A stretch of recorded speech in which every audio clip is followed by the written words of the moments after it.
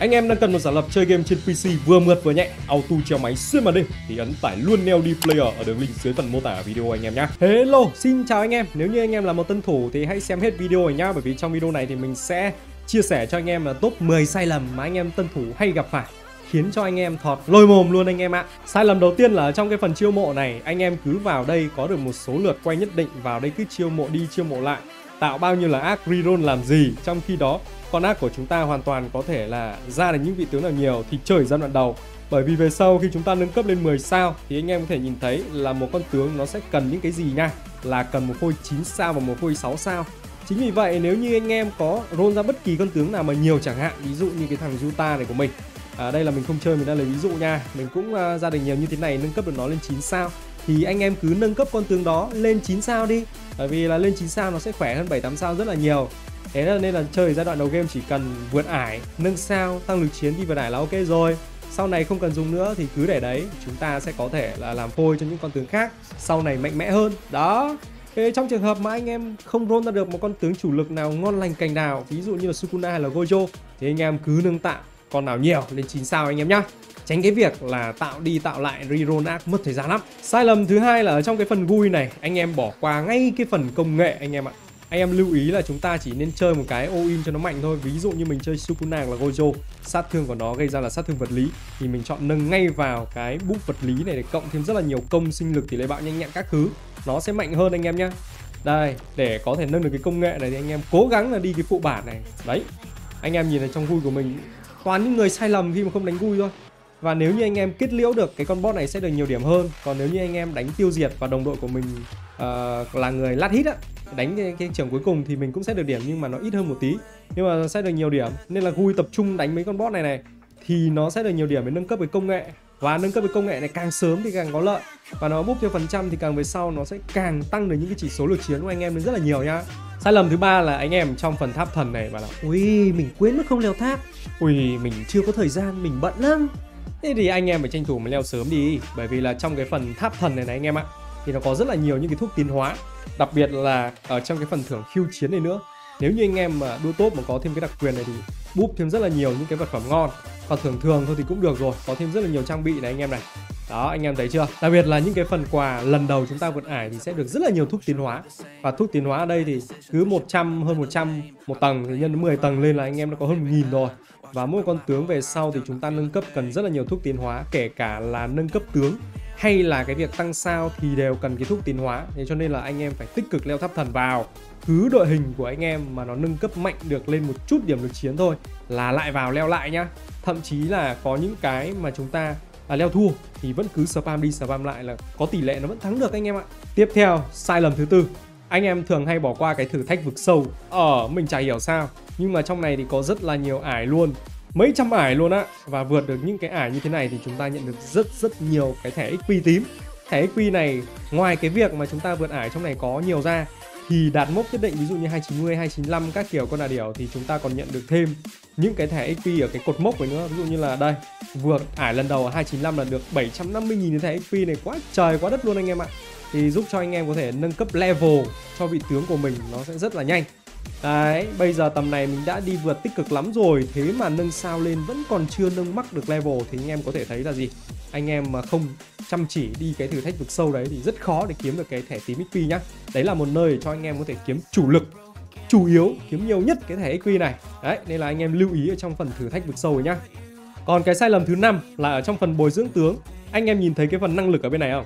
Nhiều anh em thì bỏ qua cái phần này luôn bởi vì thấy nó vứt vào đây hầu như là nó không tăng thêm một tí lực chiến nào. Đúng rồi, không tăng lực chiến luôn anh em nhé nhưng anh em có thể nhìn thấy này, cái dị năng này nó sẽ giúp cho anh em có những cái, giống như kiểu là một cái skill bị động rất là hay.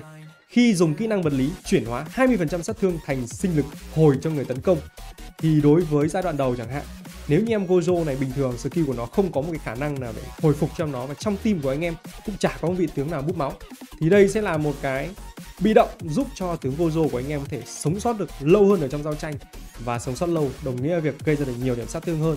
Và anh em có thể thấy là lên được E1 tức là 11 sao thì chúng ta sẽ mở thêm được cái ô thứ hai giống như là em Sukuna của mình ở đây. Thì với hai cái búp đấy bị động nó cộng dồn vào với nhau.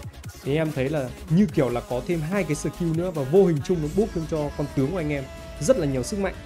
Thì anh em lưu ý là ở trong cái phần này nếu như mà chưa có thì hãy nhớ mua ở trong phần shop anh em nhé nếu như anh em chưa biết uh, cái giao diện ở bên ngoài này mua ở chỗ nào á thì đây này, ở trong cái phần siêu thị. Đấy, anh em vào đây có phần năng lực. Ok chưa? Thì anh em có thể mua này, anh em có thể reroll. Khi mà chúng ta đi hoạt động mình sẽ được những cái điểm này, đúng không? Thì chúng ta sẽ làm mới làm mới. Roll roll roll roll roll. Đấy, cứ cái nào giảm giá 20% thì mình mua dần nha. Thế anh em à, có thể vào trong cái phần vị tướng này để xem trước là con chủ lực của anh em nên xài những cái gì.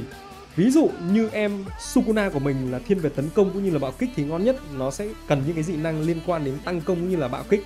Đấy Thì anh em mua dần đi để có thể là nâng cấp cho vị tướng của anh em nó mạnh mẽ hơn nhé Sai lầm thứ sáu của anh em là trong phần trang bị này anh em cứ dã vào cái nút đeo nhanh. Đây này, cứ ấn vào đây này.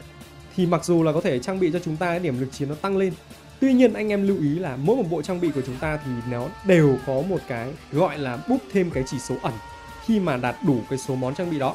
Thì ở đây anh em có thể nhìn thấy là ví dụ đây là mình có ba cái món kỳ tích đúng không? Là mình đã có được ờ, uh, 11% sinh lực và 5 15% công. À, nhưng nếu như anh em chỉ có một cái món kỳ tích thôi chẳng hạn thì thay vì thế anh em hãy ấn đổi đi. Đấy, trang bị cam cũng được. Trang bị cam nhưng mà đủ bốn món thì anh em có thể nhìn thấy này. 8% sinh lực, 11% công và 5% sinh lực đó thì nó sẽ ngon lành hơn rất nhiều so với là anh em chỉ có một món kiếm kỳ tích hay là một món trang bị đỏ nào khác mà nó không búp được thêm cái chỉ số ẩn nhé nên anh em tích cực là chế tạo trang bị ở trong cái phần này này anh em này. Ở ngoài giao diện chính. Đây, sở nghiên cứu nha. Anh em ấn vào sở nghiên cứu thì tích cực ghép nhanh trang bị để có thể là ra được những cái món trang bị. Tất nhiên nó chỉ ngẫu nhiên thôi. Đó, có đủ phôi thì nó mới ghép lên được những cái trang bị ở đây này. Rồi, thì khi mà có trang bị rồi thì anh em lại tiếp tục vào trong phần tướng. Đấy, vào trong cái phần trang bị và anh em xem lại hết xem là đã đủ những cái món ở trong cùng một bộ hay chưa, để kích hoạt thêm cái dòng chỉ số ẩn này nhá. Sai lầm thứ bảy của anh em là rất lười đi vượt ải nhá. Nhưng mà ở trong vượt ải này thì đúng là một trong những nơi mà cho chúng ta kiếm được rất nhiều cái thẻ tím. Chiêu mộ cực kỳ ổn luôn anh em ạ. Đây, cho anh em xem thưởng vượt ải này. Toàn là trang bị ngon với cả nhiều thẻ tím dã man luôn, anh em thấy không? Rất chi là ok nha. Mà ở đây thì có rất rất là nhiều ải luôn. Hiện tại mình đang vượt đến ải hơn 400 rồi thì anh em thấy này, càng về sau chúng ta còn có những cả trang bị đỏ nữa. Thế cho nên là anh em tích cực vượt ải vào. Với cả vượt ải thì chúng ta cũng có thêm được những cái điểm này này. Đấy. Ok chưa? Và khi mà chúng ta có nhiều thể tím rồi thì tất nhiên là trong phần chiêu mộ này của chúng ta vô hình chung là cũng sẽ sở hữu được thêm nhiều vị tướng. Thế thành ra nó có một cái à, quy trình là vượt ải, lên cấp. Đấy, lên cấp thì mở thêm nhiều tính năng, nhiều tính năng thì có thêm nhiều hoạt động. Nhiều hoạt động thì lại có thêm nhiều tài nguyên. Nhiều tài nguyên thì lại nâng cấp được cho tướng của mình mạnh hơn và đi vượt ải tích cực thì có nhiều cái thẻ tím để chiêu mộ tướng thì có nhiều phôi. Lại tiếp tục nâng cấp. Và nâng cấp mạnh lên được thì lại đi những cái hoạt động kiểu như tháp thần hay thử thách vực sâu nó nhiều lên. Và thử thách vực sâu tháp thần nó nhiều lên thì lại có thêm tài nguyên là thẻ xp rồi thì thuốc tiến hóa. Thế là một vòng luẩn quẩn như thế là nó sẽ giúp cho anh em uh, tăng được rất là nhiều lực chiến, chỉ từ cái việc vượt ải thôi. Sai lầm thứ 8 là anh em có thể nhìn thấy lúc nãy này, mình vừa ấn chiêu mẫu x10 nó ghi là số tướng đã đạt giới hạn. Thì anh em lại vào ngay trong phần sở quản lý nhân sự ở đây và ấn giải phóng nhanh một phát. Thế là nó giải phóng hết tất cả như phôi đây thì cực kỳ lãng phí luôn. Ở giai đoạn đầu, chúng ta hãy tích cực vào trong phòng thí nghiệm dị năng này để ghép tướng. Nó là tướng 5 sao thì mình ghép trước. Đấy, ví dụ như em này này, mình sẽ ghép luôn. Đó thế là có thêm một em tướng 5 sao rồi mà giải phóng được rất nhiều slot đồ 10 slot mà. Tương tự bên này cũng thế. Thì chúng ta có thể là có nhiều phôi hơn. Đấy. Bởi vì ở trong này nâng cấp sao tướng ví dụ như em này đi thì nó sẽ cần một em tướng chỉ định là em ui ui luôn chẳng hạn. Thì mình cứ nâng dần ở đấy đi kiểu gì sau này nâng cấp những vị tướng lên 6 sao làm phôi ấy thì cũng cần những cái vị tướng 5 sao chỉ định đó. Cho nên là anh em đừng có mà vội vàng sau đó là đi giải phóng hết đi thì cực kỳ là lãng phí luôn anh em nhá. Đặc biệt là trong cái hai hệ hiếm này hệ hiếm nó đã khó kiếm rồi. Thế mà bây giờ chúng ta lại ấn giải phóng phát. Thế là thôi, mất hết anh em ạ. Nên là anh em lưu ý trong phần này nhá. Đấy, bao giờ mà ghép hết tí này mà túi của anh em vẫn đầy thì lúc đấy chúng ta mới giải phóng. Giải phóng thì anh em sẽ, đây này, giải phóng từng hệ một thôi. Và hai cái hệ này thì anh em tuyệt đối không giải phóng. Hai hệ hiếm nha tuyệt đối không giải phóng. Dùng để làm phôi để ghép lên năm sao. Đó, còn đâu ba hệ thường này anh em có thể giải phóng. Thì anh em sẽ chọn một hệ, sau đó ấn chọn nhanh đấy, thì nó sẽ giải phóng những con một sao hai sao trước. Đấy, mấy con một sao hai sao thì mình sẽ không để làm gì cả. Rồi, bây giờ anh em ấn giải phóng. Như thế này là nó sẽ hợp lý nhất.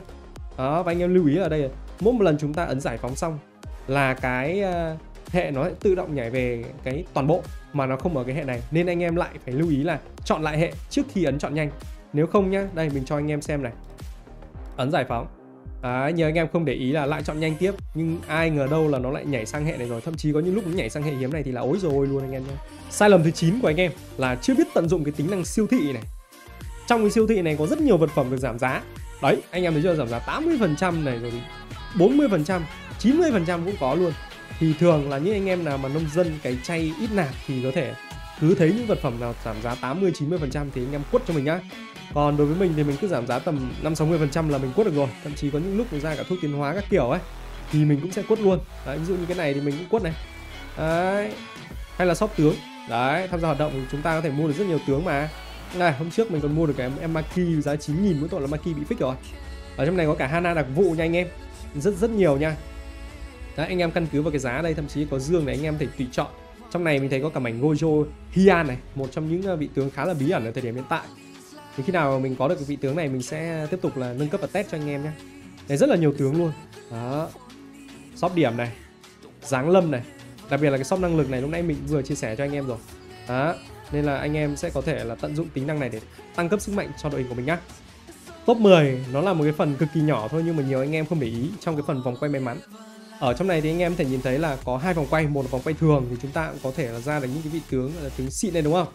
Đây này Nanami đặc vụ này là quá là xịn rồi đúng không?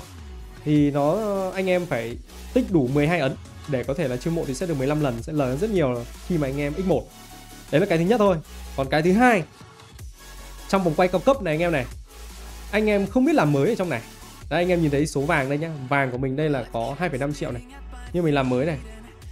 Tiếp tục làm mới này. Làm mới tiếp này. Rồi. Ở đây là 2,5 triệu là không nói này. Đấy anh em thấy chưa? Nếu như là mới nó thậm chí nó lên được 3 triệu. Còn nhiều hơn hay không thì mình chưa biết. Nhưng có nhiều anh em vào chỉ mấy trăm k vàng hay là một hai triệu đây là anh em đã ấn quay luôn. Thì vô tình là anh em sẽ bị lỗ đi rất nhiều. Ví dụ như bây giờ mình ấn x10 chẳng hạn thì cái tỷ lệ vào ô vàng này nó sẽ là nhiều nhất. Đấy không được một cái thôi. Nhưng mà 3 triệu thì nếu như anh em có càng nhiều xu may mắn này nhá anh em xả vào trong này thì chúng ta sẽ kiếm được rất rất rất là nhiều vàng. Anh em thể thấy là mình có 82,8 triệu vàng ở đây là vì thế mình sẽ cố gắng làm mới ở trong cái vòng quay may mắn này để tối ưu hóa. Sau này chúng ta nâng cấp tướng thì cần tốn rất là nhiều vàng, cũng như là cái thẻ XP đây này nâng cấp level tướng này nhiều lắm, toàn mấy triệu mấy triệu mấy triệu phát thôi, cực kỳ thốn. Đó, thì à, đây là top 10 sai lầm mà anh em tân thủ hay mắc phải. Nếu như anh em mà cũng là một trong những cái tân thủ hay mắc phải những sai lầm đấy thì lưu ý trong video ngày hôm nay nhé là chúc anh em chơi game vui vẻ và nếu như thấy video hữu ích thì nhớ cho mình xin một like cũng như là ấn đăng ký kênh và xem thêm danh sách quét lời nguyền quỷ dữ ở trên màn hình để có thể là chơi game tốt hơn nhá. Còn giờ thì xin chào và gặp lại anh em. Bye bye.